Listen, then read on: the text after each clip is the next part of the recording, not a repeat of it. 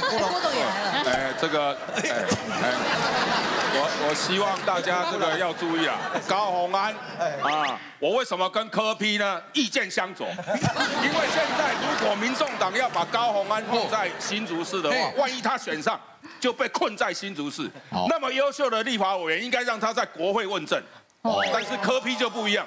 哎，拜托啊，民众党已经没有什么人了。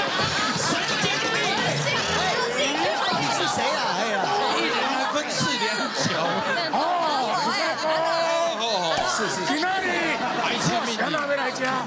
哇，什么市面上很多假讯息啊！我为什么说要花三百万？最大假讯息就是吴宗宪。